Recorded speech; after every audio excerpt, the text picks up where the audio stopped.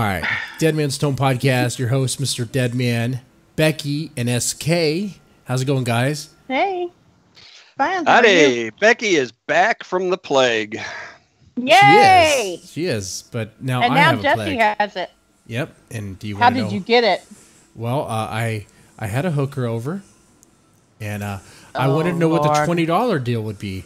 She was like, "You could smell my ass for that." So I did that, and now Now, wait a minute. Wait a minute. Twenty dollars. I, I want a discount. Okay, I didn't have a lot of money on me. Okay, I wanted the, I wanted a discount offer. No, don't you know? You you know better than that. You have There's to some know better things. than that. There are some things you don't skimp on. You know, like That's, I was Yeah. going to say, right. You don't skip on that. you know, So no, you, you don't. You don't skip on anything, you know, surgical, and right. That's not a good idea. No, Medicine, you know, and pussy. Like that's those are things that really, you know, you really want to put the extra money into. You know. okay, I'll take that advice. You know what? I tell you you, what. you don't want a Groupon. No group. Yeah. or a group discount. right. Oh, man. so you can help me. oh You'll wow. see on the screen the donations for hooker money.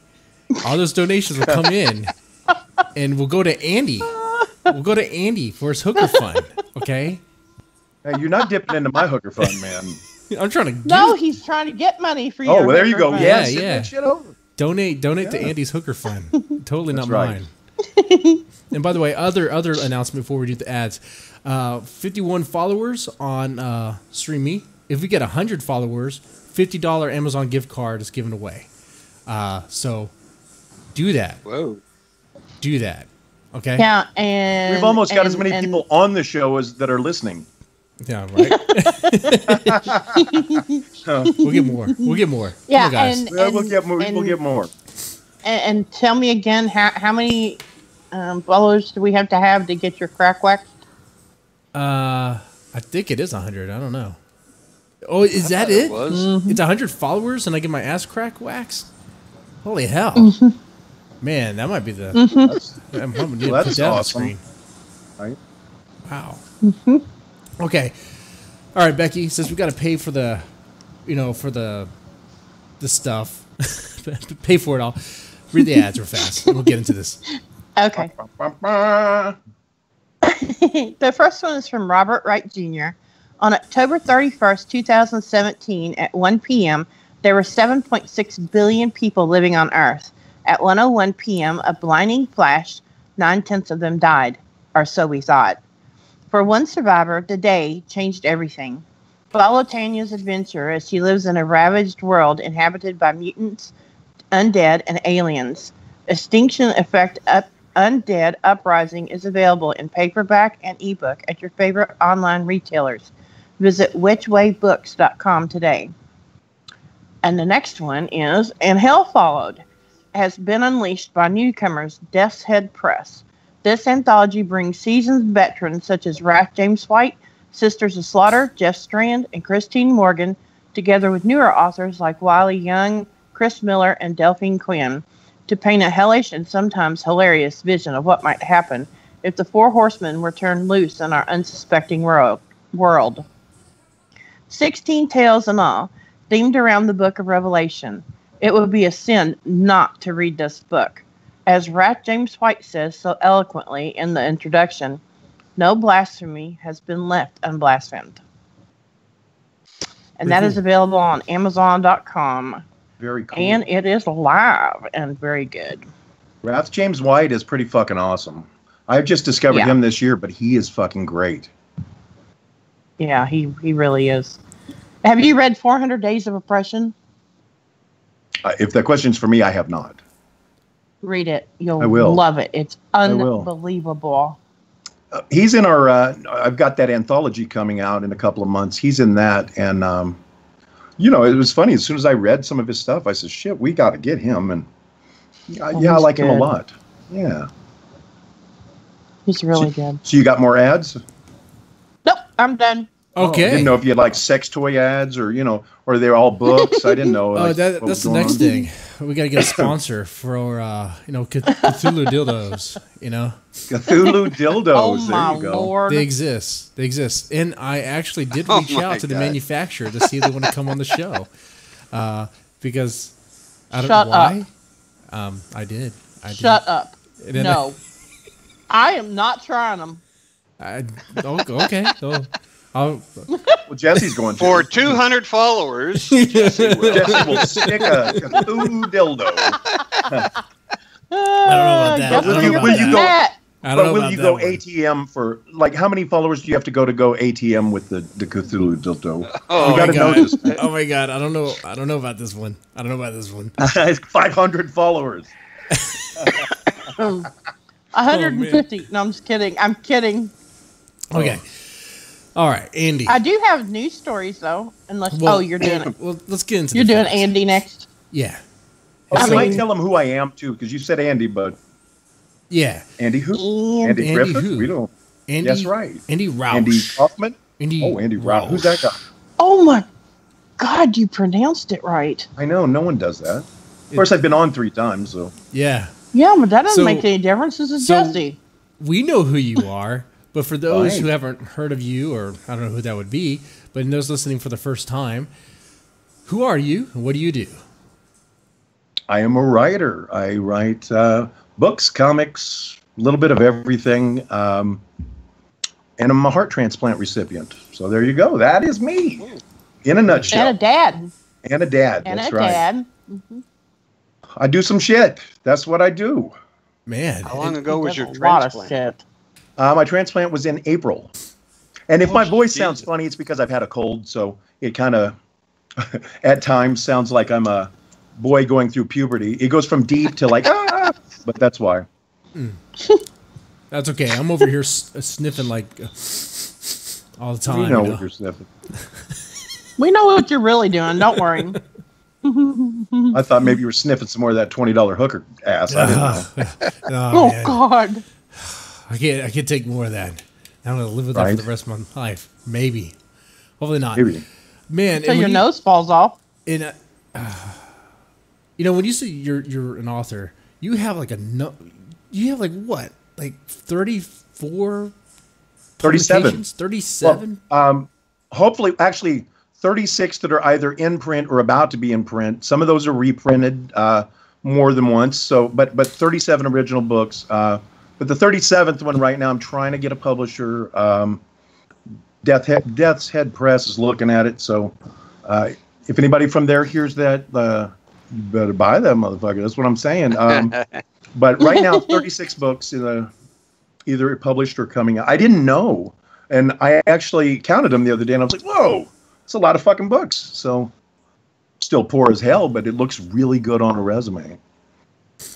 Yes, it So, so you only have a 47 foot yacht? Right. I, that's right. I've got this short yacht. That's right. It's like Donald Trump. I, I say I have more than I really have, but you know, nobody know. People are so poor they don't know the difference, and so that's all right.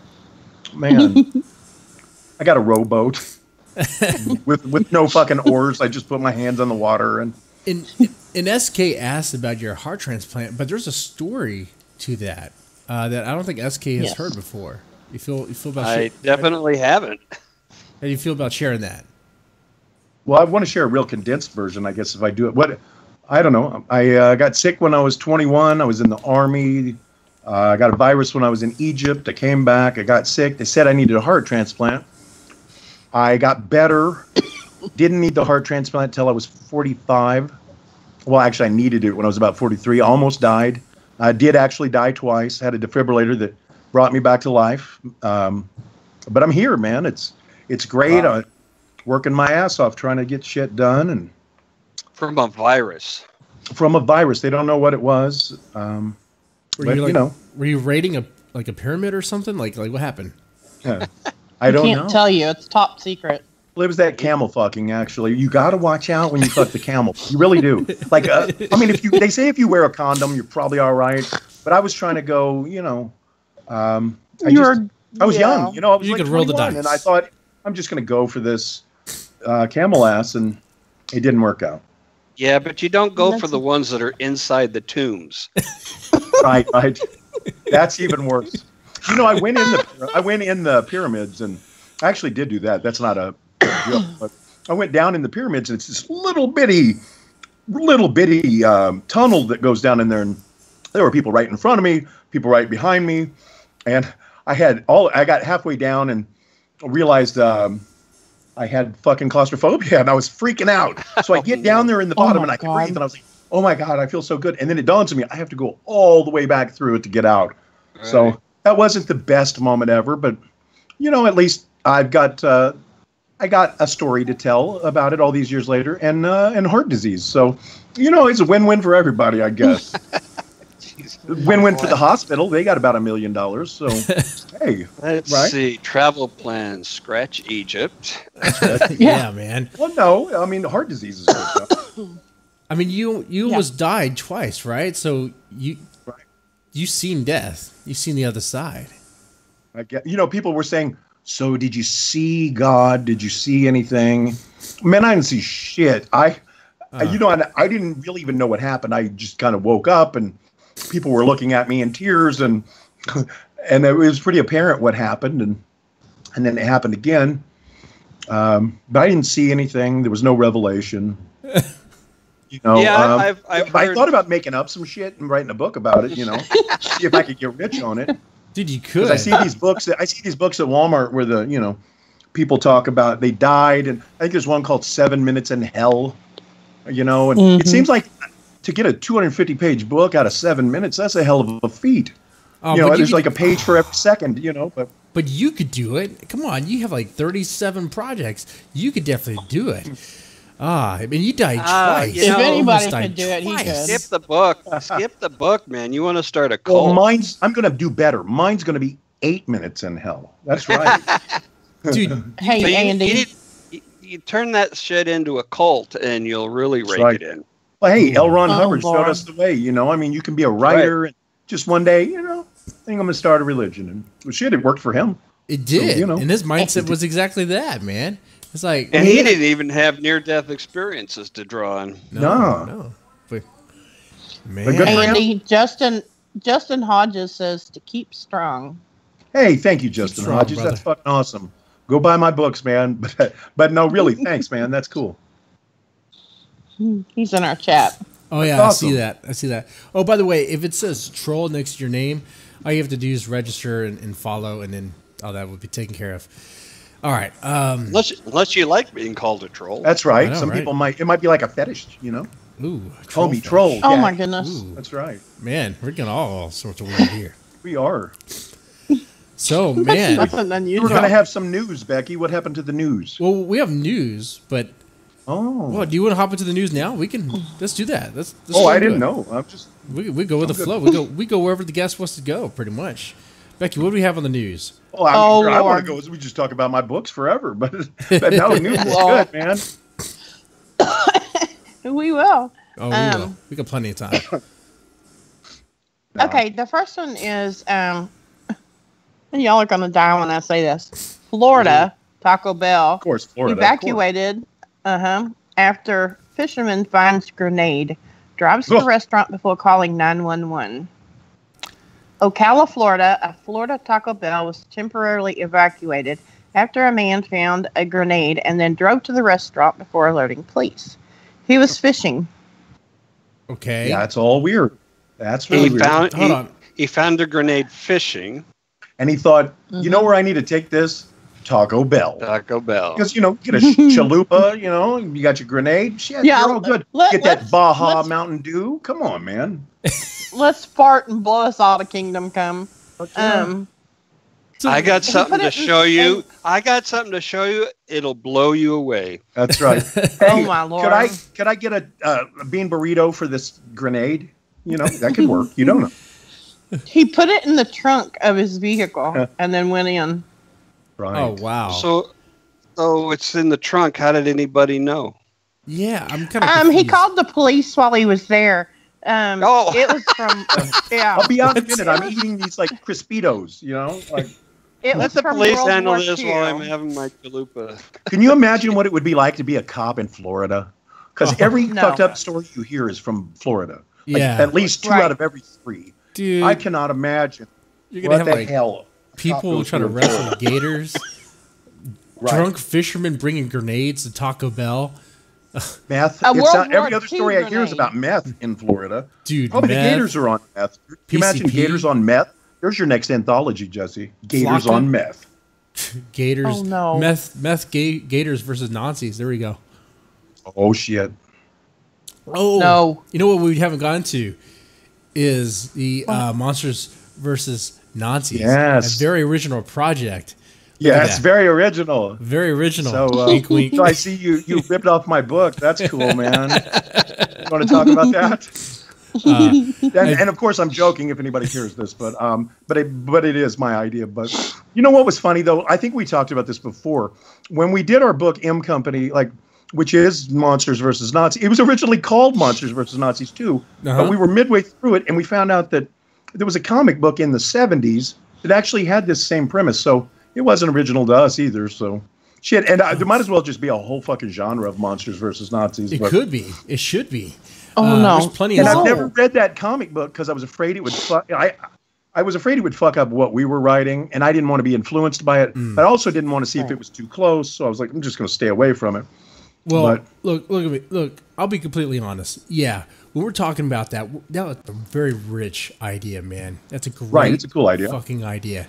And you're talking about, it, I was like, man, Monsters vs. Nazis is a great title, but it was like M Company. But I was like, uh, man, I don't know if I had it, I would probably take it like a more Gonzo approach and just call it Right. Monsters vs. Nazis. But Right. and that's their pub- the publisher can do whatever they want. That's I, I guess. Right. Uh, and but and I wasn't really going to do anything with it. But then some people were like, "Hey, that actually sounds like a pretty cool idea. Maybe you could." It's like, okay, okay. Well, you know what? Let's have fun with it. I want to see Frankenstein and Dracula like tag team take on the Third Reich. A couple of So, badasses. so I want to write something, you know, to, to pitch or to throw your way for this. But I'm curious. So in yours, is it only the, the classic monsters? Are we having all kinds of monsters? Just Uh, sky's the limit? What are we much all kinds. I mean, the cover, the cover pretty much is like I think.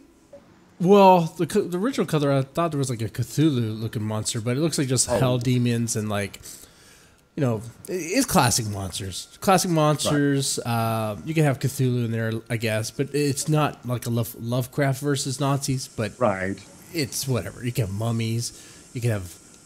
I guess you could have zombies Yetis. in there. You can have yetis. Right. Oh my lord. There was an old, uh, I think, 80s uh, B horror movie that was about Nazis turning into zombies. Right. What was it There- called? you Like know, there are a bunch of Zombie Nazi Lake zombies or mo- something like that. Oh, right. That's real. Well, you Yeah. know, there's a whole bunch of um, uh, Nazi zombie movies now. Like, there are quite a few. Um, and I Uh, think it's a cool genre. I really do. Um, Was it Dead Snow? yeah, there's a couple of those, aren't there? Yeah, yeah. There was one that they were shooting overseas, and they were looking for extras. And at one time, I really thought about going, and and uh, you know, because they were like, anybody that comes can be a zombie, and I was like, this is gonna be fucking badass. I think it might have been that. I can't remember. It was in that same era, but that, so that was a really long, unimportant story. But there you go. Oh, we have a question in the chat, by the way. Um, Andy, I really enjoyed Riding Shotgun. What projects do you have in the works now? Ah, well, I've got a novella coming out March 29th that I'm very excited about. Uh, that's the one I mentioned before. It's a revenge story. It's sort of a anti KKK revenge story about a father that uh, his son's been lynched. He's going after the Klan in Georgia, So- and that's called Bloody Sheets. It's coming out from uh, Close to the Bone, and then sometime in fall I have a novel coming out from uh, Crime Wave Press and the same publisher that did Riding Shotgun, and it is called Layla's Score, and it's really mostly about my little girl, um, who was seven at the time. So it's about this. It's basically about a hitman and his seven-year-old daughter. It didn't occur to me again. I was working on it, and then I realized how close it really is, in a way, to Road to Perdition, which is funny because I love Max Allan Collins, who wrote that, and he's actually in an anthology I've got coming out in a couple months. But um, Yeah, I mean, it's a different take on that, you know. And his wasn't anything really, you know. I mean, the- that's an old story. I mean, you know, that you had the baby cart movies in Japan, which were about uh, samurai. You know, the Lone Wolf and Cub movies, and that's sort of what he based that on. So, I'm following the tradition, but mine's more about the um, the relationship between the father and the little girl as they go through all these things. Because you know, in Road to Perdition, it's great. It's just a different thing, you know. Because the father and the son aren't really super close in that. It's not really about their dynamic as much as they're just on this thing together. But Gotcha. yeah, so there you go. I just rambled. definitely it want to read that. And I have Kind of reminded me of the the professional. right. It kind of like that too. Yeah. Mhm. I don't know. I've always liked that kind of stuff. Yeah. Also, just a just a reminder out there in the chat: if you're watching and you're not a follower yet, feel free to follow because if we reached a hundred goal, not only is there a fifty dollar Amazon gift card giveaway, but apparently, apparently my ass crack is going to get waxed. I, don't- I don't know why they why I signed up for that, but apparently that's going to happen. so look at that. We, we only we only Wax talk that into ass. those things when you're really drunk. Yeah, Right. I noticed Yeah, that. and it Not was drinking so tonight. easy What to the- get you to So you're not drinking this. tonight. So why are you not drinking tonight, man? What the fuck is that? trying to trying to be, be better. You know, my son saw me the Ah. other day, passed out in the garage. Uh, he was like, "Dad, Oh my god! what's wrong with you?" Why? And he's like, "Hey, it's uh, it's Saturday, so it's just another Saturday Uh, at the Deadman house." Yep. Uh, so, uh, where to go from here? No, um, more news, Becky. What's the new? I have another news story. Okay, Mm, okay. what's the next Oh news story? wow! Fatal end to an alleged game of Russian roulette for St. Louis police officer. What? Oh yeah. Yep. This A St. weird. Louis police officer has been charged with manslaughter and the death of another officer, alleged by shooting her during a game of Russian roulette. Hmm. Don't you wait shooting Yeah. her? I They, mean, she they don't herself. really understand how that's supposed to work. Obviously. Yeah, Right. Yeah, no, because um, she the officer was shot in the chest while they were handing a revolver back and forth, taking turns pulling the trigger. At each other. There you go. hmm um, that's not Russian roulette. That's just flat out homicide. That's I mean, just hmm He's Why? like, uh, "Hey, guess what? Want to play a game of Russian roulette?" One Why- of them, one of them was even on On- duty. on duty. So this is really this is what's really fucked up about this, right? So they were one of them was on duty. They go over to his house. A why and B so they decide to start playing this game with Hmm. guns like they Hmm. don't know. These should definitely be people that are uh, protecting the citizens of St. Louis. is they sound meth? well up to Yeah. Is, that. is there like meth and alcohol involved? Because like, what the fuck is going No. on here? Are, are we sure Yeah, about you that? would think. You would certainly think so because they said not. Oh, But who- they- who how do- invest- who How do you have this conversation? Hey, want to shoot each other? Well, the, uh, uh, well, That'll be fun. And, and, he, and also interesting was is that the the officer that did the shooting, Mhm. their partner was there and had left the room when the shooting occurred. Huh. And it was So, like not third- only was one like of the them there- shot, right? Or Right. And there, I thought in St. Louis, the cops only shot unarmed black people. Shit, it's true. It's fucking Ferguson, Yeah. man. Look at it. But I spend a lot of time in St. Louis. It, it, St. Louis is pretty fucking wild, man. That's where uh, that's where I got my heart transplant. I spent. I talked to Becky a couple weeks ago when I was in St. Louis, and man, it's Mhm. St. Louis is fucking crazy, man. Like somebody gets shot like every fucking day in St. Louis. It seems like, Well, and I guess part of them are cops shooting each other. So yeah, fuck. look at that. yeah, apparently. Well, I, I mean, crazy. not only were the the two people that were shooting at each other there and knew that that was going on, but the the cop's partner was there and knew it was going on and didn't do anything. I mean, hello. Like how many people were in on this bad fucking decision? That's crazy. Like Well, you know, because you can see one. Per- that's what I'm saying. It's weird enough that one person thinks this is a good idea, but three fucking people thought this was a cool idea. Mhm. The fuck, Right. man. yeah, Yeah, Well, at lea- you know. something something else is at play here. It has to be right. Yeah, but it's I not something you make when you're sober. That's not something when you. you- That's not a decision you make when you're thinking clearly. Obviously, Yeah. And It certainly like not- cover-up Certainly story. not for three people. Was it like No. a night shift or something, or was it just during Well, the they day? were it was really the fucking fucking bored. middle of the day. I think. middle of the day? Yeah, it was. I'm Oh bored. my How about you? I got an idea. You know, it's like fuck. Should should they? They could be arresting people Right. or shooting more people, shooting Well, more they black supposed people. Right. God damn it, man. Oh my god. Sorry. Oh. Oh my They god. could, they could Oh, be, yeah, I mean, and when I said that, no, that I'm not making fun of the black people. Like, this is a thing that pisses me off a lot, and I'm not going to lie. And you know, and um, people think I don't like cops. It's not that. Like my brother-in-law is a cop. I mean, he's great. I I have nothing against cops as long as they're doing what the fuck they're supposed to be doing. But you know what? There are bad everything out there. There are bad podcasters. There are bad mailmen, bad bakers, and there's bad cops. Mhm. And the, the the thing that makes it look bad is because the other ones don't say anything yeah. 9 times out of ten. And I know it's that you know that code where you don't. But dude, and the other thing I think is really weird. While we're on it, have you ever seen any other occupation where, like, okay, I don't know what you do in your life when you're not doing podcasts, Jesse, but what do you do in your regular life, man? Uh, I'm an investigator. Okay, are you really? Yes. Mhm. Okay, okay. So say that. I mean, are you a police investigator? No, I work No. with families. Okay, good. Because I didn't want to offend you here, but but the thing is, you know, like say you're a mailman and you hear that a mailman killed somebody, do you immediately go, he couldn't have fucking did it because he's a mailman? There's no other occupation in the world where everyone in it immediately defends the person without knowing Mhm. what the fuck went on. You know, Well- and I was in the army for a lot of years, and that's dangerous too. But you know what?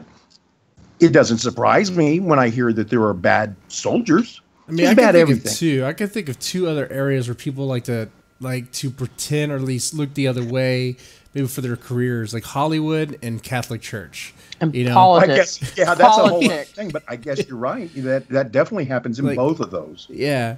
I mean, And hell, political. they knew they knew Harvey Weinstein was doing that shit for years. hell, they knew they know Oh Bryan Singer's doing shit. They would just cover his ass, uh, and that they know the the priest is fucking kids. They just cover his Okay, ass. dude. look, and and look, I don't know, you know, about the Bryan Singer thing, what's real and what's not, but I will. And I I talked to the man a little bit back in the day, but I will say this. You know, um, I was hearing these things 20 years ago. I live in fucking Kansas, okay? I wasn't even in Hollywood, but I was hearing it from people. You know, I've done all these books on film, and I know a lot of people in film. I was hearing these rumors in 1999, you know, and if they were that, pro- it, I was hearing the Kevin Spacey rumors 20 years ago, you know, and if I'm fucking hearing it here, you know damn well there are people all over. You know, the studio chiefs are hearing that shit, but they keep Yeah. hiring these people. And I mean, I don't know if he did it or not, but I'm just saying that these are things, these are allegations that had been floating around for a long yeah, time. Uh, legally, these are allegations that we have heard to, to protect us. Well, yeah, and I do want to stress that I don't know. Yeah. Uh, yeah, yeah. Uh, another question. Oh, a bad joke. How many cops does it take to make a bad decision? It was in the chat. Three. Oh lord. oh. Mm. Oh. Oh, man. Well, I, But if there are I any do cops have listening another to this, news- we love you. yeah, We love I good do have cops. another news story. Sure, sure. what do we got? Are you, are you Oh. sure? oh lord. Are How does- you sure? How does it compare to? Um, no, I'm not sure. Um, Russian captain used to beat his soldiers with dildos. Ah, Oh. of course. Well, the old but he dildo stopped? beating. Yeah, Uh, uh, Well, that happens all the time, shit. yeah. mhm. So Do you so want to go to the a- stalag or do you want to get be with the dildo? Like, does it specify where and how? Like, what is this? we got to know details, man. Yeah. We got to fucking know this. yeah, it did. It does. It, do we, Um, okay. The beatings will continue until morale improves. Oh. This saying was often attributed to Captain William Bligh during the mutiny on the Royal Navy vessel HMS Bounty was taken to heart, perhaps a bit too much and too erotically, by one Russian military commander who would routinely abuse his subordinates who fell even fractionally short of being impeccably squared away. You know, there was one guy in that regiment that was like regiment that was like I kind of like being beat with the dildo. You know, he was fucking up extra. Like, Oops, my bad. I did it. You know, you know that was happening. He was he was dropping down and bending over. It's like, oh, Right. That guy I've been takes a I've been bad. I've been keeps, really Oh, I dropped the soap. I've been naughty. By the way, you know how hard it was to find this an again, image. it's not homophobia either. I'm just saying that you know there was a kinky dude. It could have been Oh, any yeah. kind. Somebody's Oh, yeah. got some kink. There are all kinds of people that like to be probably beaten with dildos, men, women, whatever. Be you know, but, um, Russian dude. Alligators, like that. we talked about earlier. I don't know. I can see that. And it was real hard to Well, find an image for was- the story. By the way, real hard. Right. uh, I typed in. There uh, were Sorry, go ahead. There were. no. there was a poem, a part of a poem that was found. Um. After the guy was court-martialed. Oh, Part A of a coin? what? A poem? Poem. A, a, po- a, a poem? Poem? A A poem? poem. The- Poem. I hate you. The the dildo poem? Yeah, it's a poem. Okay. I'm well, not up on my dildo uh, dildo terminology. I guess I don't know. What, what, what's this poem? It, it- can you read the poem? Poem? Um, I can read it. Yeah. Okay. The it's a dildo go poem. boing, boing, Okay. boing. That sounds like hurt is that the sound it okay. makes? Is When choosing his disciplinary methods, however, the captain's punitive wheels would turn devish, devilishly clear. Extra PT, more inspections, restriction. No way. These men are getting beat with dildos today. Oh. Um, used canna in hand, he'd open his table drawer. If only if it, if only the offender knew what was in store. There were blue ones, red ones, purple and green doodads and zigzags, everything in between. He'd make his selection, da, he would say, then lock up the door of his dildonic buffet. At odd hours, he'd patrol to see what was amiss. Comrade, he'd scream, what the hell is this? Uh, why does the commander have a Sweeping, bunch wait a of minute, dildos? I'm not done. Okay. There's more. Sweeping his stringers across the bed frame. This is dust, he would laugh. Oh, what a shame. Dazed and Oh, confused, what the soldier shame. would stand. but in a but a, in a flash on his face, a dildo would land. Cap- Captain, please, he would say, you're being obtuse. I do not deserve this dildonic abuse. I do not deserve it at night or in morn. I do not deserve this marital age scorning. But the captain would hear no more begs or pleas, and he knocked the soldier down with the dildonic strike to the knees. he struck from the left, he struck from the right. He struck upwards, downwards with violent mm. delights. Satisfied to the brim with the abuse he'd dispatch, he'd toast with his vodka down, down, down the hatch. Drunk, he would sing, What a wonderful inspection, as he put away the shiny red dildo from his dildo collection. oh, collection. this sounds like Dr. Little did- Seuss, kind of like. It does. Dr. That's what they said. Little did he know, he believed himself impartial, that soon he'd be called into a bitter court martial. Dude, what the hell? His defense said in court. Dildo, seriously? You've lost our support. To the Siberian wild, the captain was banished. Save his dildo collection, all his possessions had vanished. Did he survive? Some ask. No one knows. Others say, whatever became of his dildo cachet. But the legend says you can still hear him on quietest nights, screaming and laughing with violent delights. I'm, I'm not really sure what what is happening here. So where did this? What is this? Is this a real thing? I mean, where did this poem come from? Oh, but really, like, did you write this? What is this poem? No, I didn't write it. And the phrase "dildonic buffet," like that's that should be a title of a book. Dildonic buffet. Oh my Dildonic god. buffet. Hmm. So where did the poem come from? Uh, it came from The, not um, my collection. I don't know where. Is this in the next Becky Nairn book? Come on, man. No, damn it.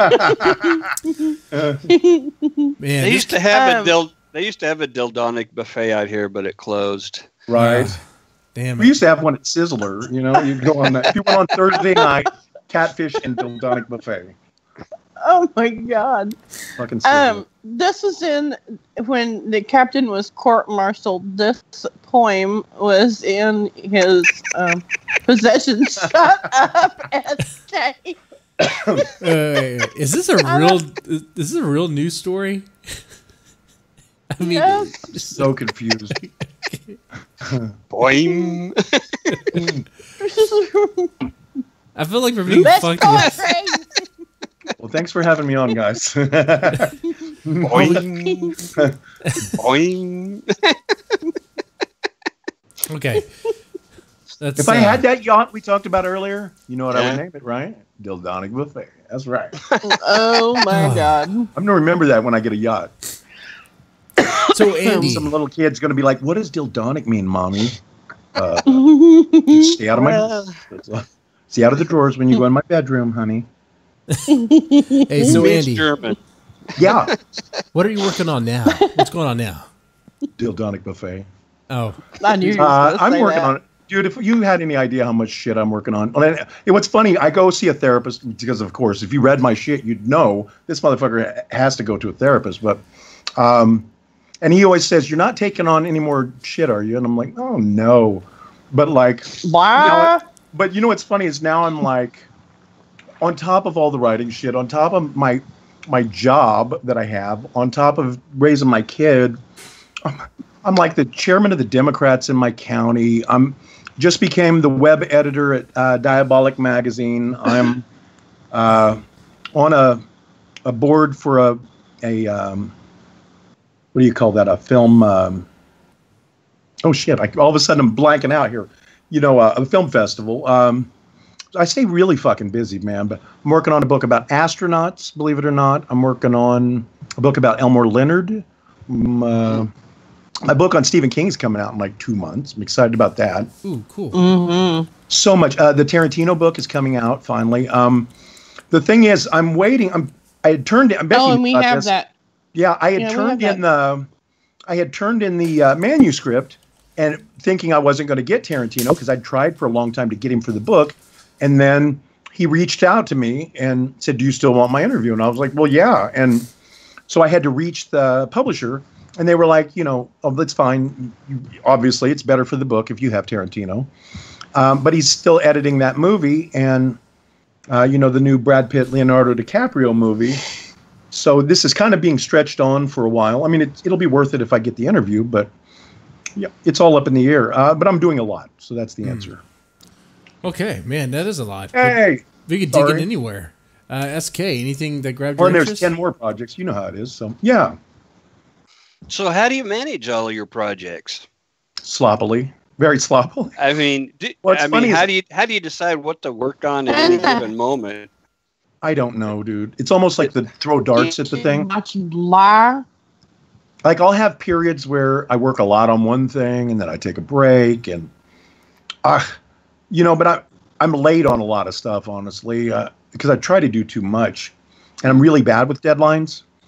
You know, um, the Stephen King book's coming out with McFarland. It was originally supposed to be out in December, but with McFarland, you know, you um you have to do your own index and that's Oh. horrible. Like I fucking hate that. That's the least. I made the joke to the uh, the lady I had to submit it to that my ex-wife used to do the index, and I joked that that's probably why she left me. But um, the Oh. index is And- horrible. So anyway, and then I you just had finished, to do it. right. So I just finished it today. The book was actually supposed to be out in December, and it's late because of me. Um, so now it's got a March release date. I don't know exactly what it is, but I don't know. I really don't know. I just do whatever feels right and so, like, uh, do you say no to anything? It seems like no, doesn't it? Well, a lot of it's just me taking on projects, and I take on too much. I just do, and it's the way I've always functioned. I mean, I'm literally working on probably nine books right now. Usually, only one piece of fiction at a time, and that'll last quite a while. How how do you go from book to book like like in your headspace and all that? Like I don't really know. And there's a, you know, I'm working on some memoirs with different people. I'm getting ready to start my own memoir. Um, You also have the hundred uh, writers and, and I have a book that uh, so- Becky's helping me edit. Um, it's uh, where we talk to 100 authors about their writing habits. That's coming out from Bear Manor. Um, it's just a lot. The astronauts book, you know, was inspired by um, my little girl's really. She's at that stage where she wants to be an astronaut someday, and you know, when I was a kid, I felt the same way. Well, then. Um, yeah, I don't know. We went to the Space Museum and we were looking at the stuff, and they had these books in the bookstore. They had a little bookstore, and Ah. I was looking at the books, and I thought, you know what would be cool? I do a lot of interviews, but the And I Earth thought, is what if- that book. Did she find? I that know, book? right? How'd they do it, right? But I was like, you know, mm, my I should- lord. I thought here I could uh, interview astronauts, you know, from the Mercury and Apollo and Gemini missions that are still alive, and get their stories. And and the the really cool thing about it is, is that it will give my child the opportunity to meet these people, even if it's just over the phone. Mm. You know, Mhm. I mean, Yeah. that's a thing most parents can't offer their kids, and so that's one of the benefits of of the writing. And I'm just gearing up for that. I have an interview coming up in about two weeks. Uh, he's actually not an astronaut. He was one of the the uh, ground control guys on the Apollo missions. But yeah, it's pretty cool. Takes a lot more That's research. Cool. Usually, I know my subject inside now. This is one I really don't know. But a lot of times, you know, when you write books, uh, nonfiction books, you write about the things you kind of want to know more about because it requires you to really research the fuck out of them. And, Mm. You know, That's pretty cool. so I like that. There you go. It gets you involved, more involved, more engrossed into the subject matter, and, and there, I mean, in a way, your daughter benefited from it as well. That's pretty cool, man. yeah, yeah. I'm going to uh, dedicate the book to her. So All right. Aw. What, what about Oh, the that's, uh, that's really nice. what about the Stephen King book? What's going on with that? Um, it's actually my third book about Stephen King. Um, it is, and, and there may even be a fourth one. I never set out to do this. Um, let's see. Um, this one is called Perspectives on Stephen King. What it is is it's uh, interviews with uh, authors, experts, and collaborators.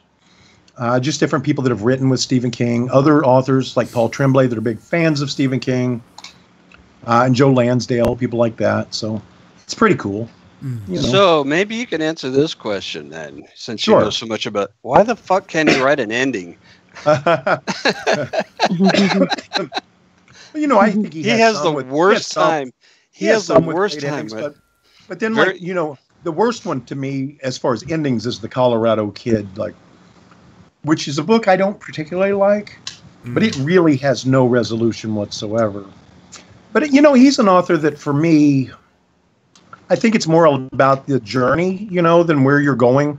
You know, it's like Elmore Leonard had a saying that he hoped that he he wrote the kind of books that even if the last page was missing, they would still be a good book.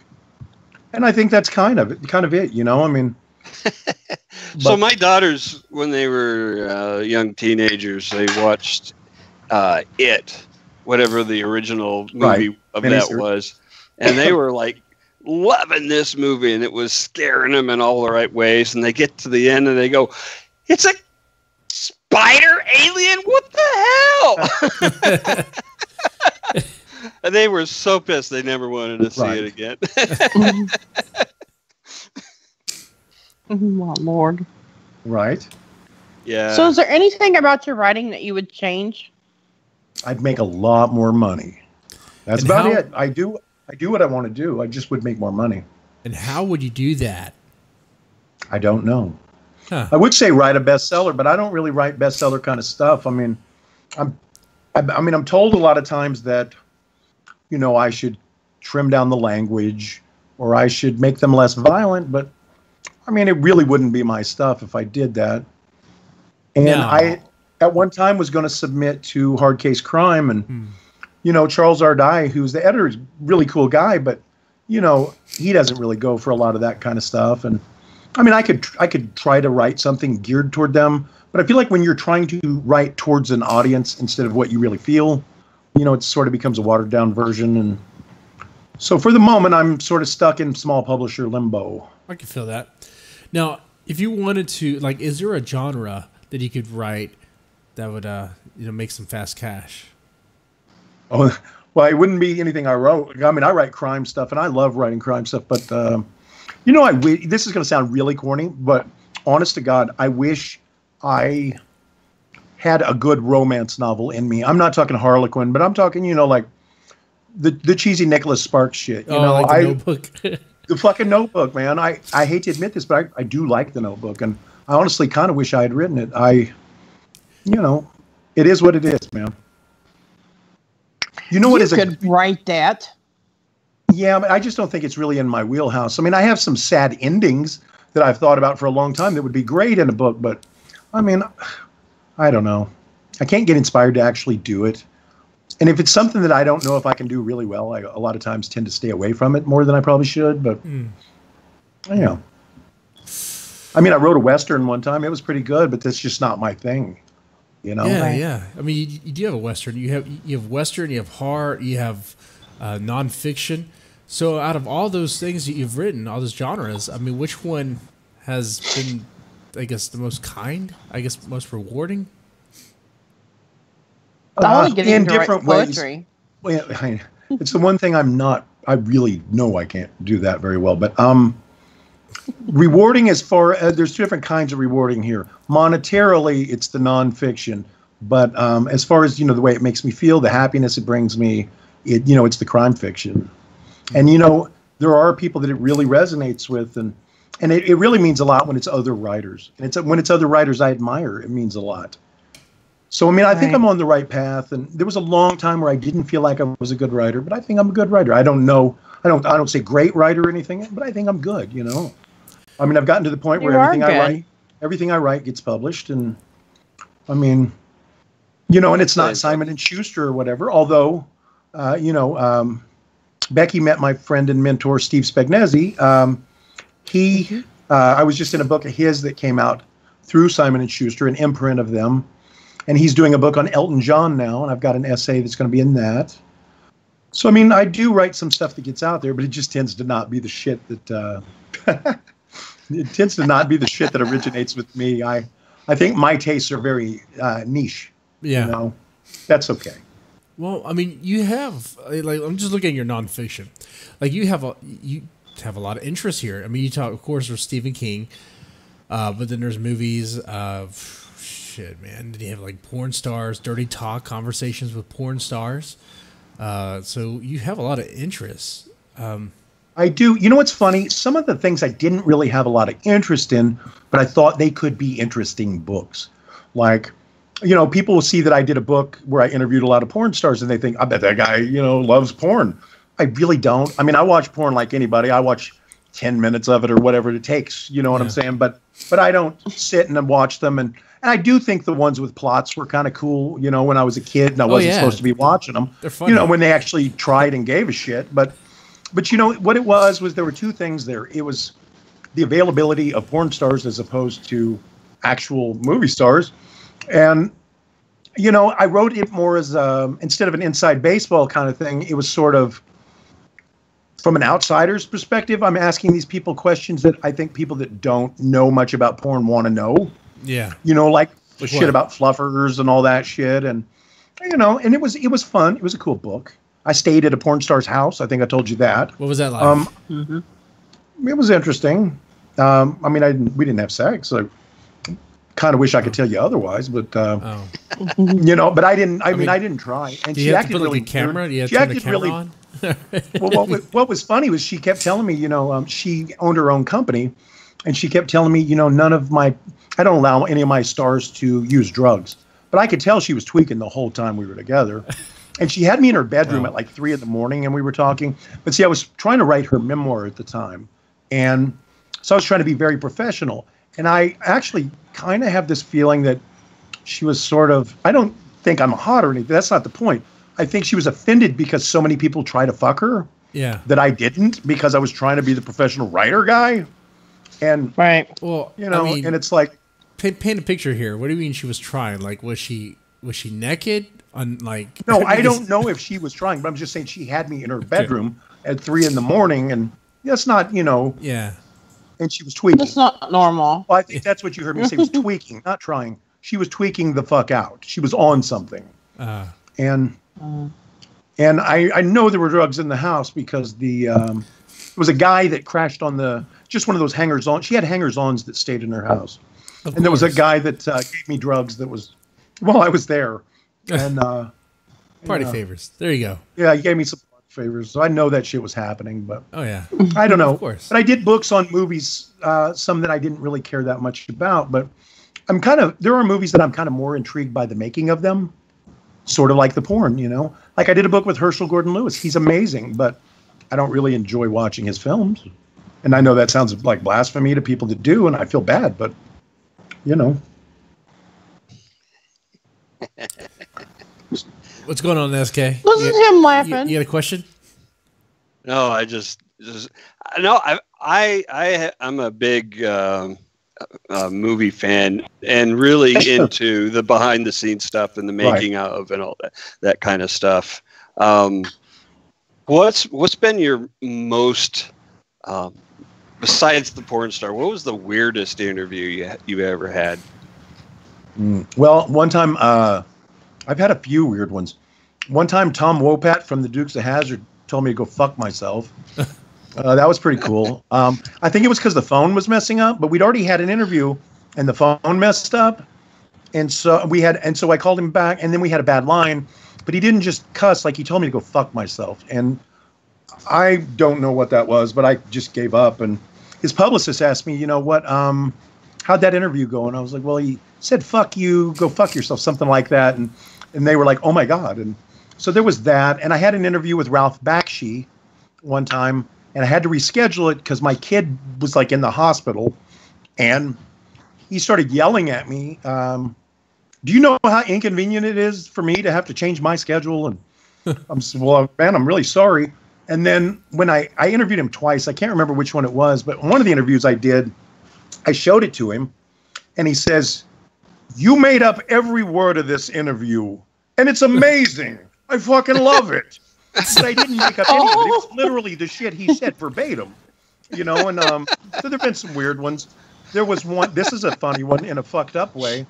One time I had tried a long time to get an interview with um, uh, what the fuck is his name? All of a sudden, it, it escapes. You know, I had a lot of anesthesia, and it kind of fucks with my memory sometimes. But um, the guy that directed Election and a lot of other great movies. Shit, all of a sudden I can't think of his name. But I uh, I was really sick. This is a story I've never told anybody. I was really sick, and I had fought forever to get this interview. So I and we were interviewing on the phone. So he didn't know, but I was on the toilet while I was interviewing him. That's kind of funny. Oh, and uh, but it was one of those things I couldn't afford to, you know, try to reschedule it because sometimes you Alexander never get them. You know, Alexander Payne. Alexander Payne. That's right. Sideways. A lot of great movies. Mhm. Yeah. About Schmidt. Yeah. what's been your favorite interview that you've done? Uh, well, there are a lot of them. S. Craig Zahler, the guy that did uh, Brawl in Cell Block 99 and Bone Tomahawk. I'm a big fan of his. That was really neat. Um, oh, Tomahawk was really good. Bone Tomahawk's fucking awesome. And he's one of my very favorite filmmakers. So to interview him was great. Um, I don't know. I mean, I've interviewed hundreds of people now. Um, Ian McKellen was pretty fucking cool. Oh, cool. I don't know. There have been some. I had one with Graham Yost the other day, the guy that uh, was the showrunner for Justified, the TV show. That was pretty cool. Yeah, yeah. I mean, I don't know. I get to do the shit I really want to do, and I mean, I can't complain. You know, uh, I don't make a lot of money, but I get to I get to meet people I want to meet, and I kind of live vicariously through them, if that makes sense. Because I It live in does. It Kansas, does. man. I'm poor. I have a regular life. I don't do shit. No, I, I mean you mentioned several times that like it's not making you rich, you're not making all the other money. But I mean, are is it making ends meet? Are you able to pay the bills with it? Um, not really. You know, like I had made, I had told you, you know, out of the 37 books, I had one book that made a lot of money. But other than that, I've probably spent more money on my writing than I've made at the end of the day. And it's okay. I mean, this is my love. This is what I do. And it's not to say those books didn't sell at all, but I spend a lot of my money on my writing. Yeah. You know, How do you uh, mean? How do you mean that? In like case people don't know. transcription costs are a motherfucker. Um, Uh, and I, I should transcribe them myself, but it takes so much time, and I when are you so going to have time to do that? Well, that's what I'm saying. I do so many interviews. Um, I probably do at least five interviews a month, and when they're Wow. at least an hour a piece, and I write for a lot of magazines, and you know, so I have somebody that helps me. But those, you know, get expensive fast. I have to buy a lot of research materials. Uh, I've got that anthology coming out where we had 26 authors. Um, you know, there are a lot of big name authors in it, and I paid some of them. You know, not everybody got paid. So if anybody hears this, they're probably going to be like, "Why didn't I get paid?" Not everybody get paid. I'll tell you what, most of the time I don't get paid when I was in those, but Oh, you know, it's exposure. It's cool to be in a book next to big name authors, and so that's how they should Mhm. look at. it. But you know, you're not going to get Joe Lansdale usually to do something for absolutely free. He's great, you know, and he he gave me a really good. I'm doing a book with him, by the way, um, a nonfiction book. He's helping me out with. Um, but I, you oh, know, cool. Mark Slade's helping me with that also. Mm-hmm. You I know who you should interview? Who's that? Jesse's hooker. I know, dude, totally. Oh my God! But I don't want to get the plague. Oh, man. you're not you're not talking about I wish that I had Jesse's Uh, what's her girl, name? right? Like Jesse. Holly. no. So was your I think- hooker Are you a talking looker? about We gotta know. I, Was thi- your I think hooker I a think they're talking about the, the twenty dollar hooker. Uh, $20. Oh, okay. You're not talking about Holly then. no, no, Oh, Holly's shit. Holly's too expensive for my taste. Right. I mean, I, I don't have enough money for that. Ooh man! I- If you would have talked to my You wouldn't want to stick your nose in that crack either. you have to go under No, a I bridge. kind of always wanted. I kind of always wanted to do a book just out of curiosity, to interview hookers. But you know what would happen was you'd probably get arrested for you know buying the hooker, and you're trying to interview them, and the cops like, yeah, right, uh huh. You know, and, but I, I think it would be kind of interesting. And I don't. A lot of them probably wouldn't have good answers. You know, like I'd rather just fuck. You know, but yeah, no, let me ask some questions. Can I just give you head? No, I want to ask you questions. Like I don't know that. How do you get? And then here, sign this release, Dottie or whatever her name is. and most of them are probably uh, high or twerking or, or twerking, Hmm. you know, tweaking. So, I mean, who knows where the conversation's going to go, man? Like, I, I have no idea how the conversation went with the porn star. I mean, it, it was probably wild. They were mostly pretty normal. Um, Wow. Trying to think. I mean, It, what the one that was really interesting was um, Mary Carey, the one you know that ran for governor of California. oh yeah. Um, I interviewed her, and it was not long after that. And she's really ditzy, like really, really ditzy. yeah. Um, and what was funny is we were making a movie at the time, and she was like, "I want to be in your movie, and you can come and see me, and all this stuff." And what was funny was um, then she found out our movie was like a really low budget movie, and then she didn't want to see me. And I mean, that's cool, but I think it's funny. You know, funny. wasn't, wasn't there an Italian hooker that actually got elected to some national office? a few I've years heard back? that. I don't know. It's crazy. Oh dear lord. I mean, is there someone that you would love to interview that you haven't already? Stephen King. That'd be a cool one. You haven't interviewed him yet? Oh, I have. He didn't, you know, um, what's interesting, a lot of the people that have written books on him haven't interviewed him. And I mean, there are people that do, um, you know, like, uh, you know, our mutual friend Stanley Wiater, I think, has interviewed him lots of times, Mhm. like maybe 10 He has. times. Yeah, I think he said a dozen actually. Um, Right. you know, uh, Bev Vincent's interviewed him. There are a lot that do, but he's not an easy get. I was uh, really close to getting an interview with him in 1999 for my director's book. I interviewed 50 directors in that book. And the, the point was Maximum Overdrive is not a very good movie, but a lot of times a key to getting interviews with people is if you interview them about something other than the thing that everybody wants to interview them about. Like they're more willing to talk about things like that. So anyway, I was pretty close to getting that, and then he got hit by a van, as you Oh, might I remember. remember that. Yeah. Yeah, man. and that really sidelined everything, and uh, you know, Plot that's twist. cool. right? And I mean, I haven't Yeah. actually interviewed Tarantino before. We met in again 1999. That was a big year. oh Uh, would be I met him briefly, and we talked about movies and stuff. That was cool, but I've never actually interviewed him. That'd be cool.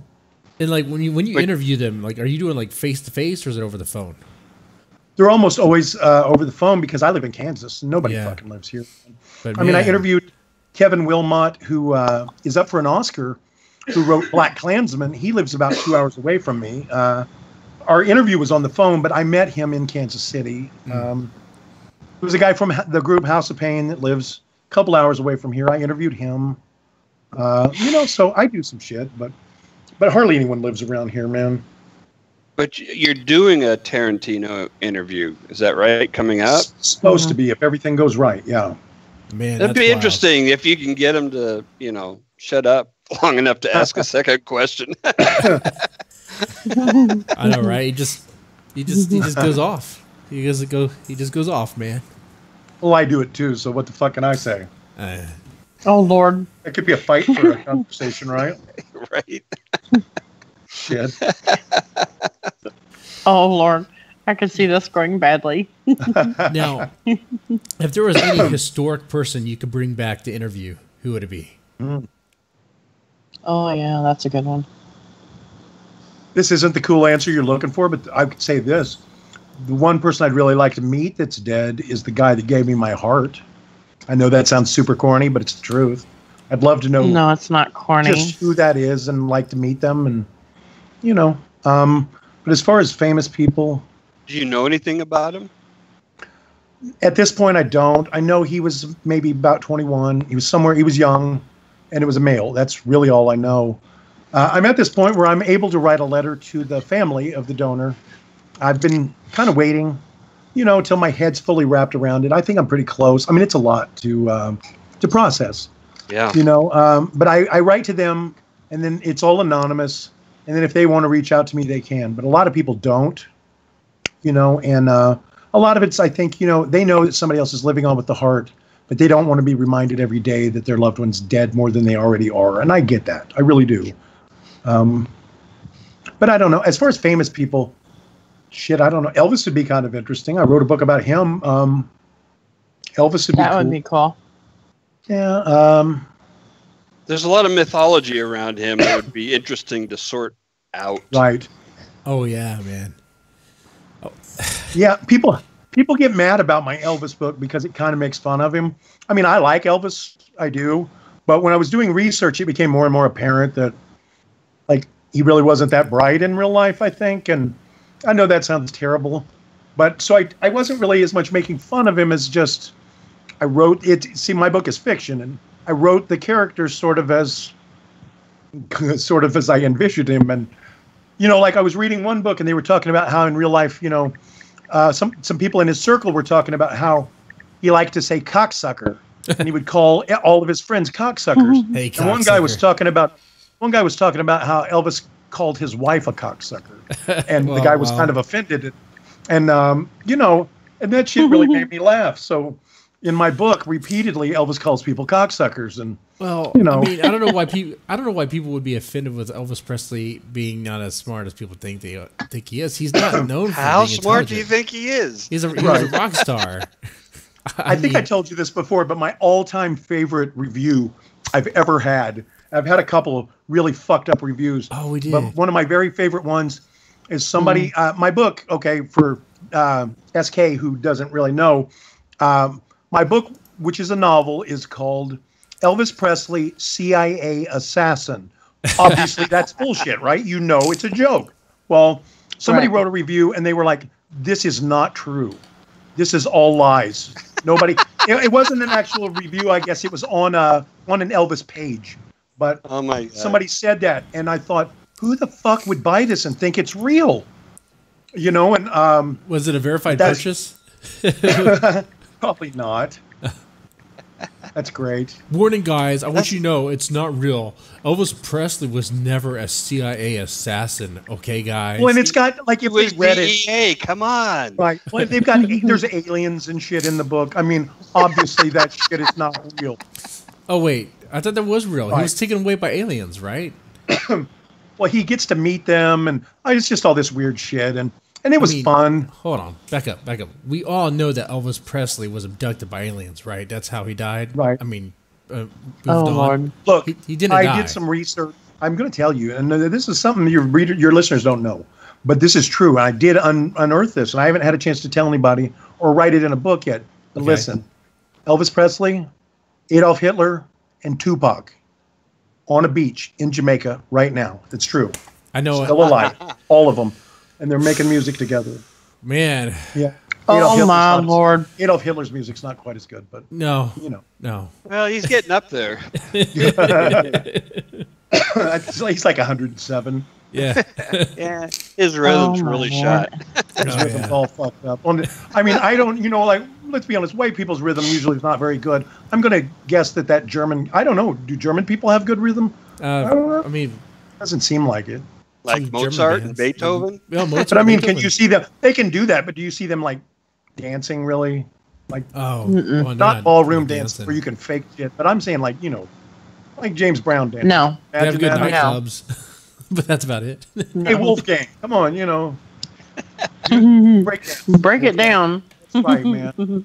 oh man, but but I, Yeah, that's, that's free, freestyle's not really in the German wheelhouse. Right, No, probably no. not.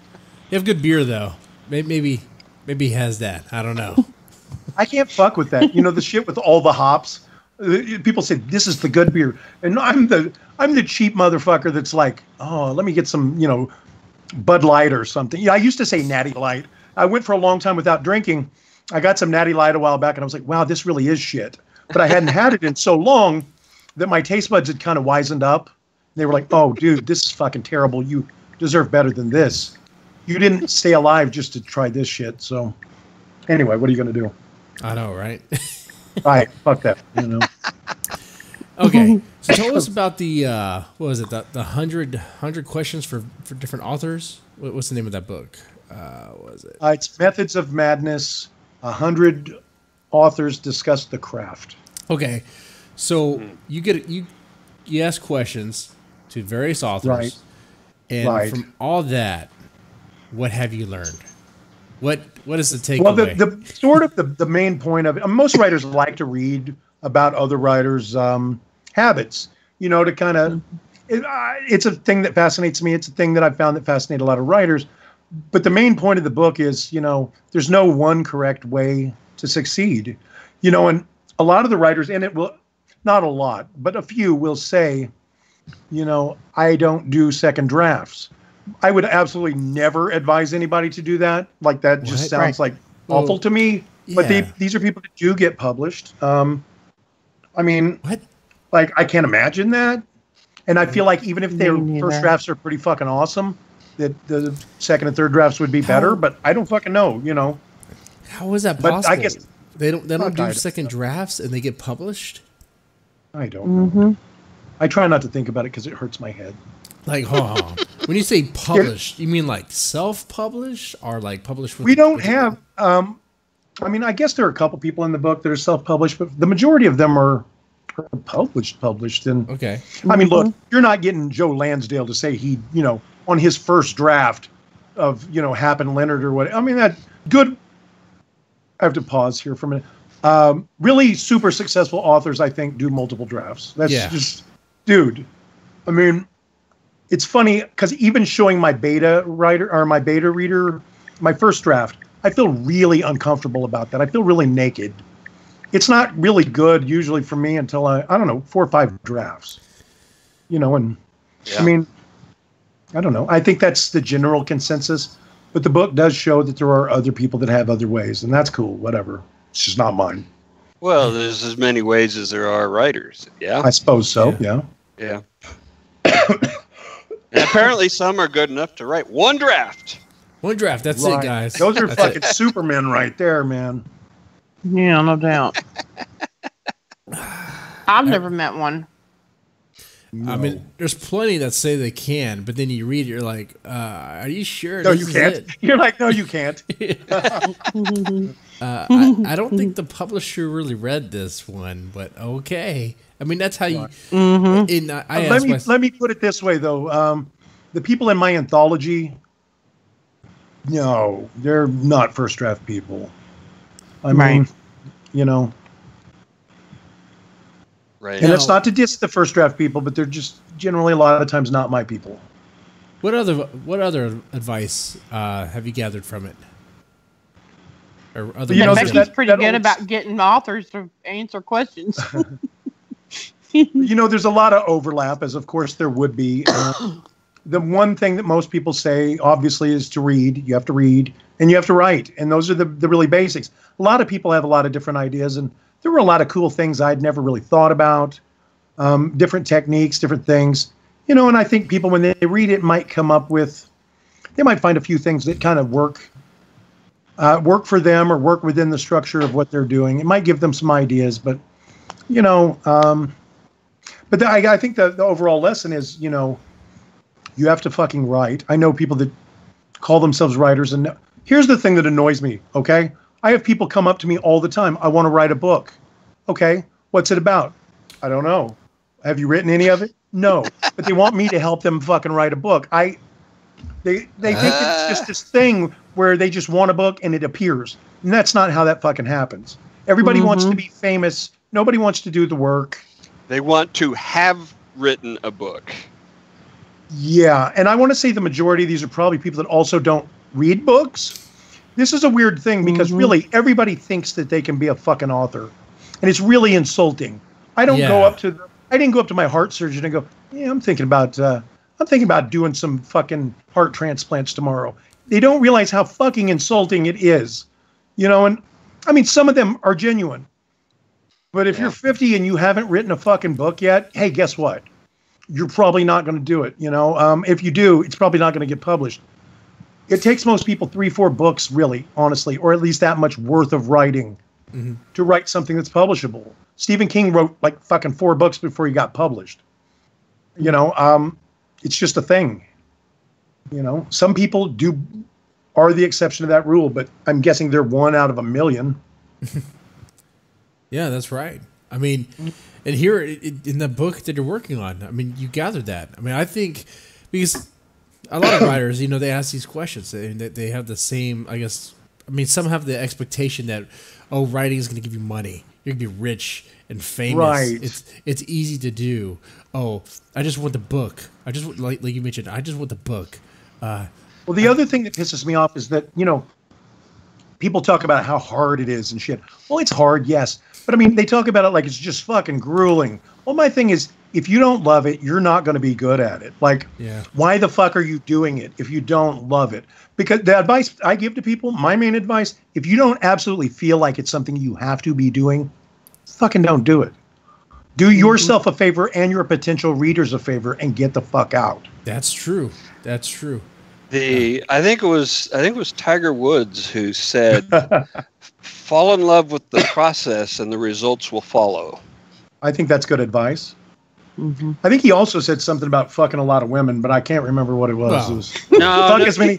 He was like talking about picking them up at you know at TGI Fridays or whatever, you know. And Well, he gets, they like the golf swing, you know. He, they, he gets carried away. He he's a swinger. That's right. It, good follow through. That's right.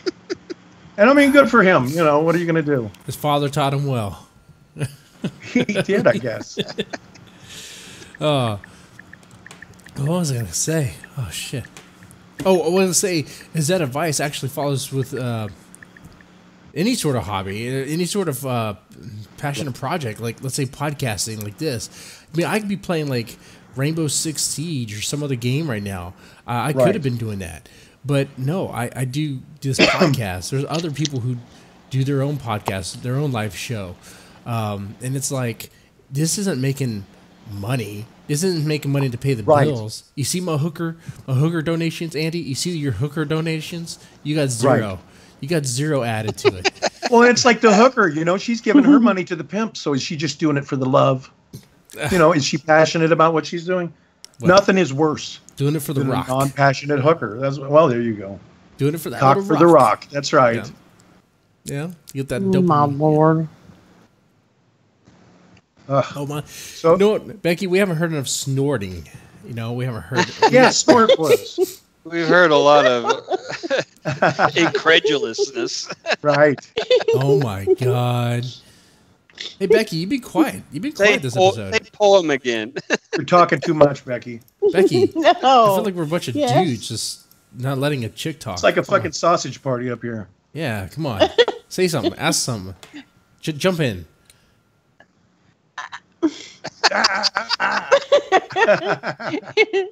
no, because if I say something, SK will laugh at me. I'm gonna laugh at you anyway. Don't blame Oh, well, SK. Damned if you do, Probably damned true. if you don't. Why Here. can't I blame him? I blame him for everything else. Damn it! Take So you guys helm. going to watch the? Anybody going to watch the Super Bowl this weekend? Hell Oh, no. this weekend? I know it's this weekend, but I'm not fucking watching it because I'm sick of the goddamn Patriots. I mean, they're going to win again because they cheat. That's that's. And it. you know what? Like, well, and the thing that pisses me off about them is I will give them the credit that they're due. I mean, they've done something that no other team has done, but and will probably ever do again. And yeah, they do cheat. The part that pisses me off is it's like Barry Bonds. Okay, they cheat, but they were good enough that they didn't have to fucking cheat. So the thing is, mm-hmm. do you really literally have to win every fucking game? You selfish fucks. You know, I mean, it's like Jesus Christ. You're already the best in the fucking league every year, and then you have to fucking deflate balls and shit. yeah. Fuck you. Oh, you know. Yeah.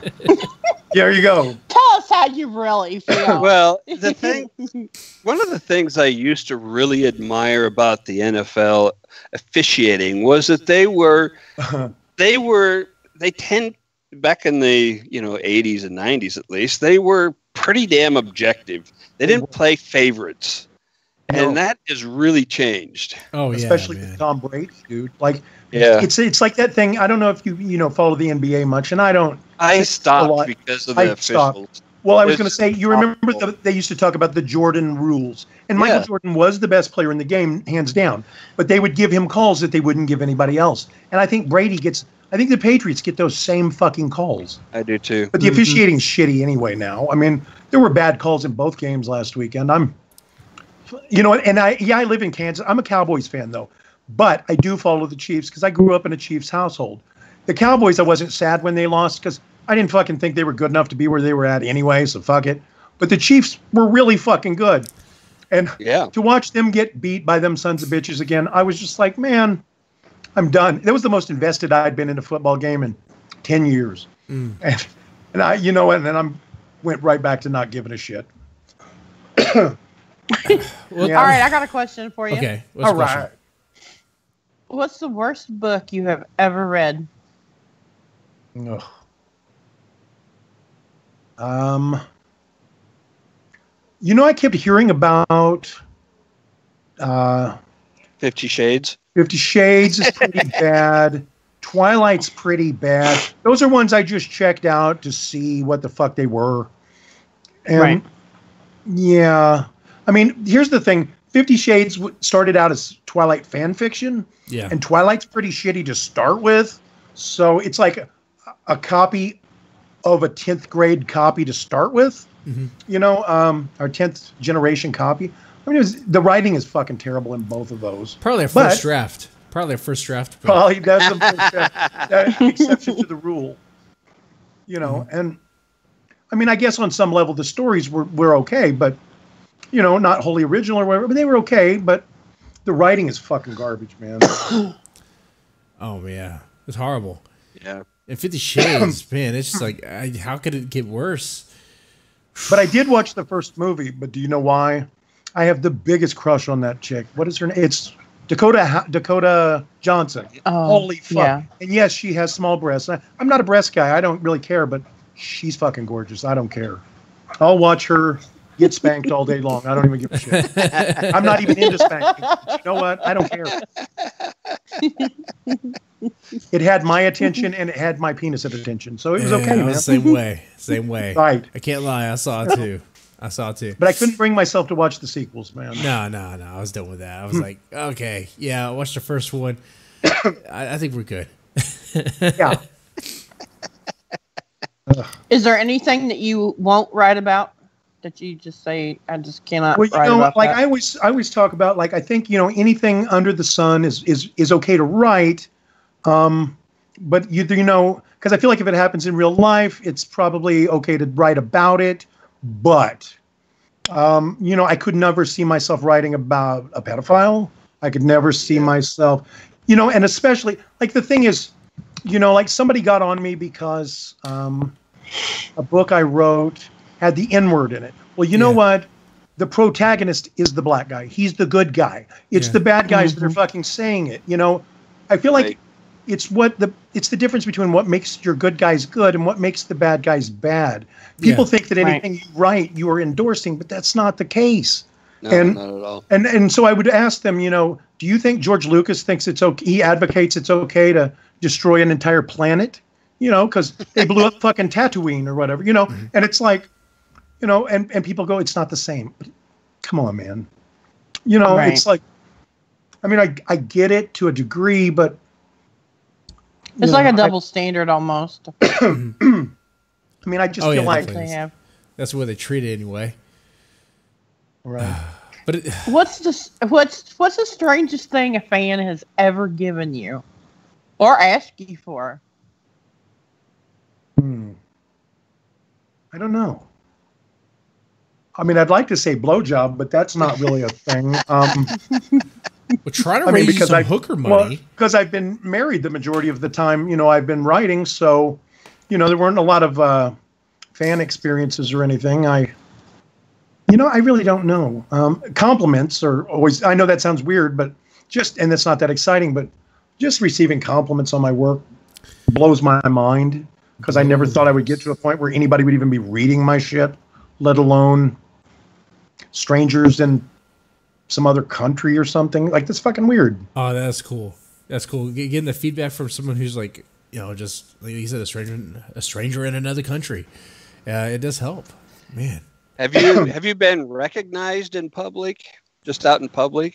No, um, no, I haven't. Um, I've had some interesting experiences. I mean, I had a well. This is kind of cool. I've had um, doctors and nurses that have brought books to me. You know, to I've you know to sign and shit stuff like that's kind of interesting. But Oh, wow. no, and I've had people you know contact me, and it's usually other writers that you know, like I've had people that were really big fans of like nonfiction books that I wrote that have been out there for years and years and years, and and it's always interesting. And, and I realize, you know, when I talk to the nonfiction writers that inspired me to write nonfiction, that you know they're really still shocked when they hear these things. So, you know, it, it it's rewarding. So the doctors and nurses, you know, they're like, "Can you sign this before surgery?" Right, right. Oh, Oh, it's- God! well, it's funny. I was on a date and um, I um, and this girl wanted to read one of my books, and I gave it to her. And uh, but I made the joke, you know, she wanted me to sign it, and I made the joke. We'll have to wait till the second date.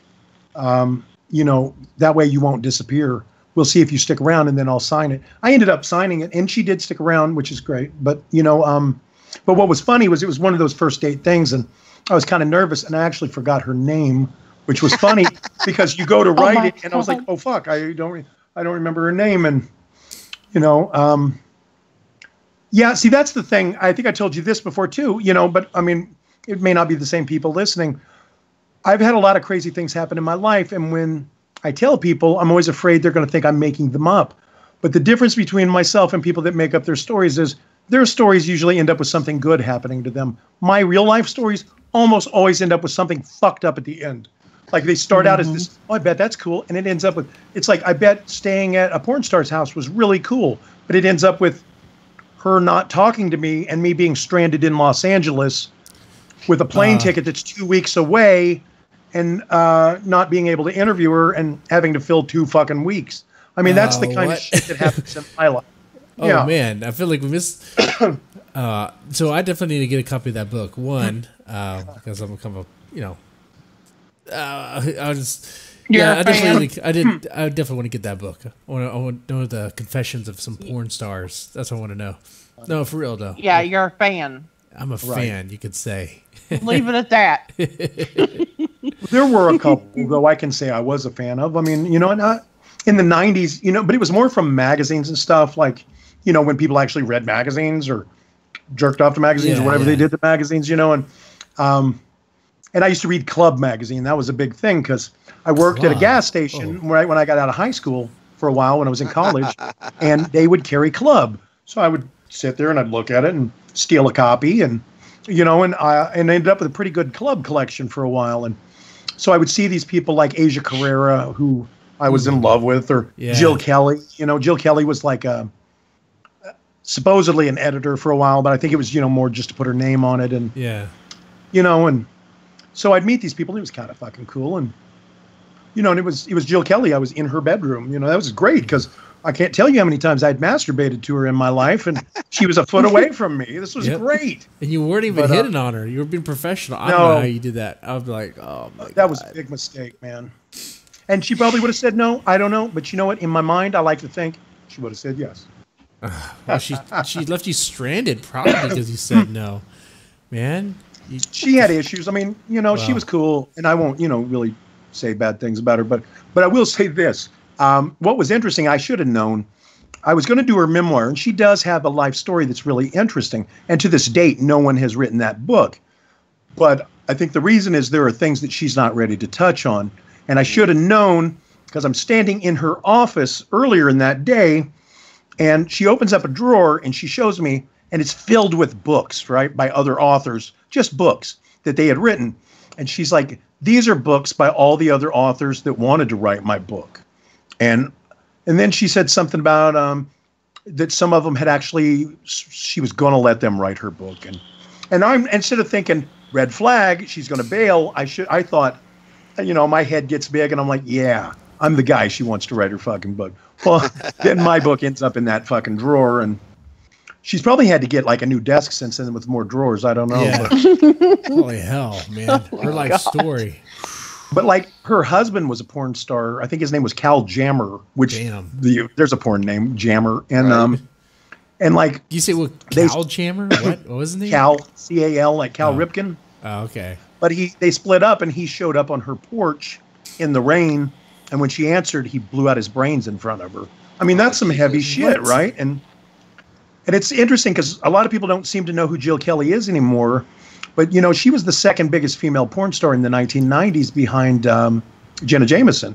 Everybody knows jenna but jenna does all these crazy things and you know um, and she had a book that was really big that sort of started that trend. I don't think any of the other ones were as big. And you, you know i can uh, i don't know if you've read jenna jameson's book but i can sum it up in like three sentences.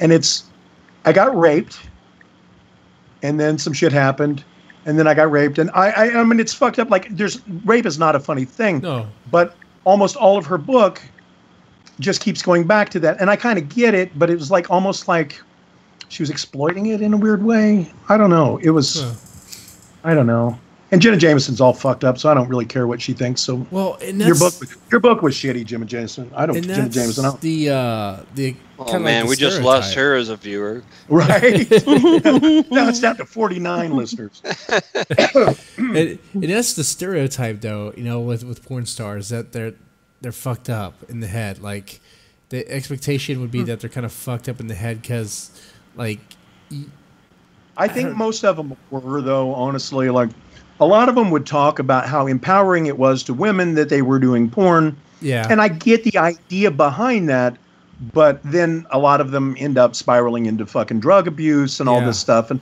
I mean, you're empowering yourself to. I mean, it's fine if you want to do that. That's fine. I don't give a shit. And you know, you should have the right to do that. But I'm just saying, I don't know. It's you know should be your career goal. Um, yeah i mean i get that too or a man uh, or a woman. It's not a sexual thing. I mean, I just, you know, uh, yeah, and and a lot of there are some that are pretty together. I mean, Nina Hartley has been in the business forever, you know, and she's No. in like Boogie Nights and all Hmm. kinds of shit, you know, and and she's fantastic. She's got degrees and she's written books and she's one of the smartest. fu- Asia Carrera has one of the highest fucking IQs of anybody I've ever met. actually you quite know, a few and- of them have degrees uh there's uh i don't have the list in front of me but i had uh, for a whole other show i was doing uh I had to look it look it up but a few they had a few of them actually have like phds and uh, i mean they they are they're educated uh, Right. and it's just there's more money i guess quicker money if you will uh, in that industry and it's like okay but there's also drugs But you know, and and I'm not going to knock them for that. I mean, you know, I like I don't want to sound like I'm knocking them, but I will. I would say that I would would advise my children not to be porn stars. I mean, And let's You be clear, just because you have a college education doesn't mean you aren't fucked in the head. Well true This is true. I mean, This is hell, true. I have a ma- I have a bachelor's. I'm kind of fucked in the head. See? hey, here's a here's a weird segue for you. Um, I, I don't think we talked about this before, but an interesting fact: I'm actually in three movies, not porn movies, but I'm in three regular movies with Ron Jeremy. Ugh. Wait, wait, wait, wait. wait. Yeah. You're in three Isn't that movies. wild? Ugh. Are you in Boondock Saints? What? I wish I was in Boondock Saints. I people knock that movie now. I don't give a fuck. I No, like that's a good movie. That is That's a a good good I fucking- like it too. But um, no, I'm in.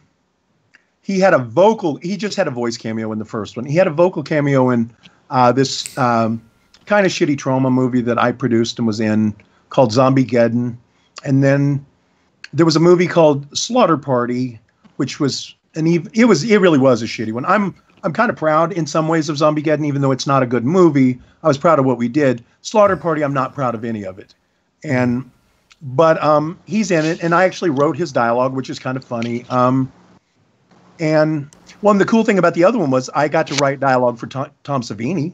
I didn't write that movie, but I wrote a couple scenes and uh, did not receive credit for them. And now, in some ways, I'm kind of thankful for it. But uh, but I mean, to see like I grew up on you know Tom Savini was in a lot of great movies I loved, and and you know he was great in From Dusk Till Dawn, which was another Tarantino written movie. So to see him deliver lines I wrote, I thought was pretty cool. And then I'm That is just cool. and then I've got a movie that's just coming out um, called uh, Abaddon, I think is it, or Abaddon. I'm not sure how to pronounce it, but Abaddon. I think. I think I have. I think I have a line in it.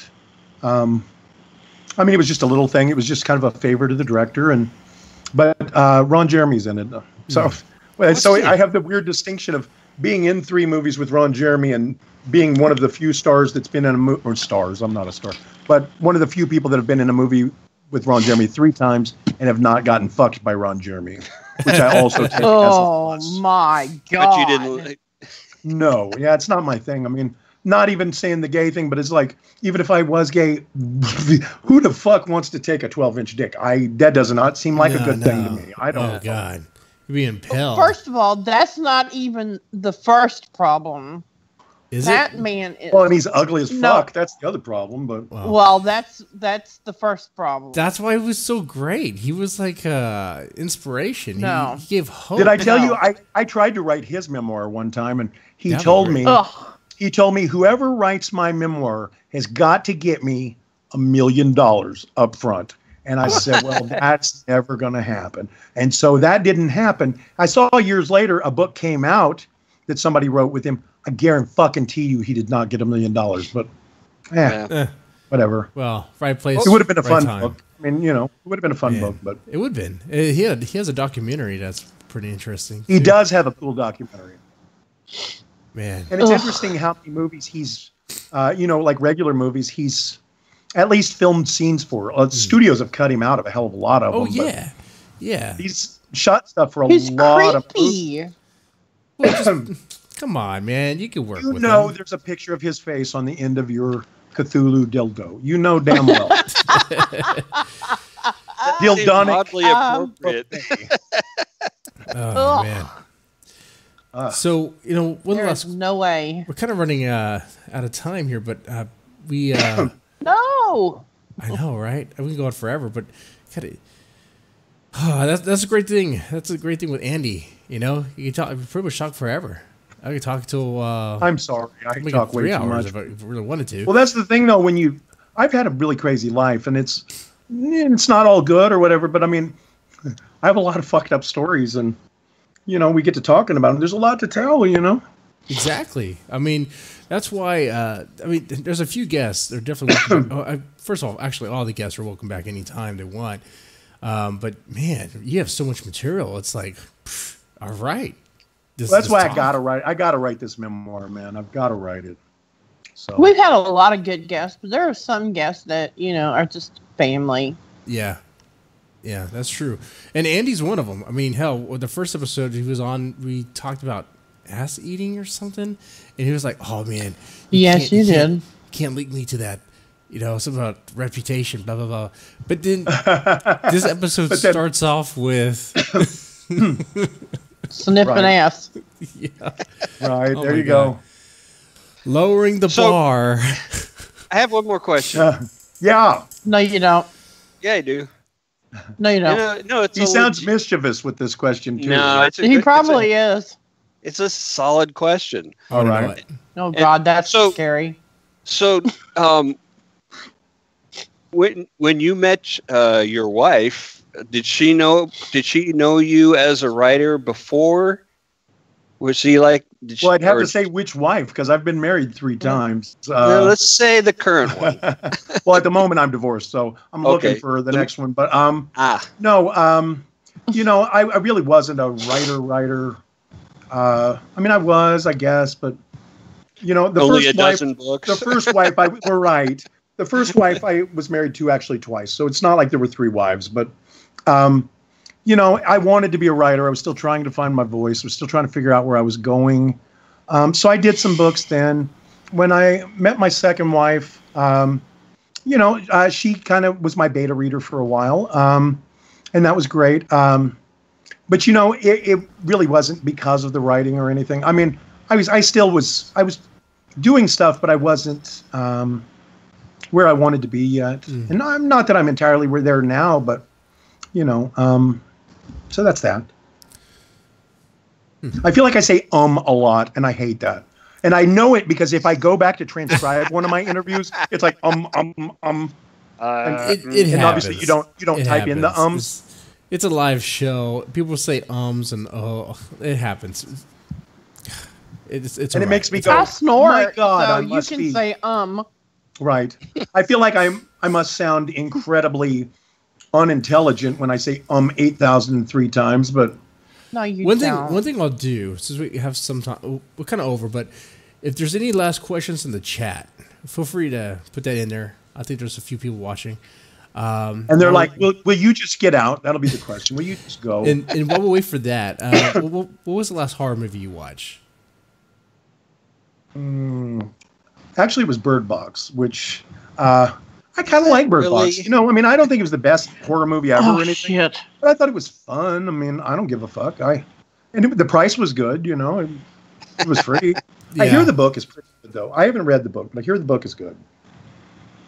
I didn't hate Bird Box though. I mean, I know it's cool to hate on it, and I don't think it was, you know, um, The Exorcist or The Shining or anything, but it was okay. I mean it, I had, liked it has a lot of I problems did like but I mean what I mean it's It's interesting to me though how it's so hard to please the horror community. No matter what the fuck comes mm-hmm. out, people will backlash against it.